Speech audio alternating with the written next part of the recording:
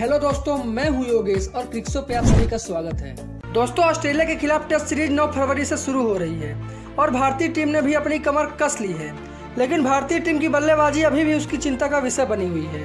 क्योंकि दोस्तों, अभी तक के राहुल, रोहित शर्मा के साथ ओपनिंग करते हुए नज़र आए हैं। लेकिन कुछ वक्त में सुमन गिल ने रनों की बरसात करते हुए के राहुल के लिए मुश्किल खड़ी कर दी है।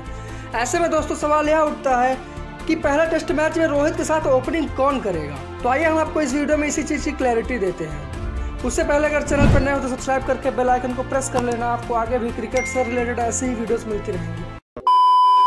दोस्तों, नागपुर में टीम इंडिया को पहला मैच खेलना है। लेकिन अगर मौजूदा फॉर्म और भविष्य को देखें, टीम इंडिया रोहित शर्मा के साथ सुमन गिल को आगे बढ़ा सकती है। क्योंकि के राहुल ने अब तक 12 पारियों में सिर्फ़ 28 के औसत से 318 रन बनाए हैं। वहीं सुमन गिल ने रनों का अंबार लगाया है और उन्होंने 12 पारियों में छिहत्तर के औसत से सात सौ उनहत्तर रन बनाए हैं। तो दोस्तों, अब यह देखना दिलचस्प होगा कि पहले मैच में किसे मौका मिलेगा। तो चलिए मिलते हैं नेक्स्ट वीडियो में किसी और टॉपिक के साथ। तब तक के लिए हिंद।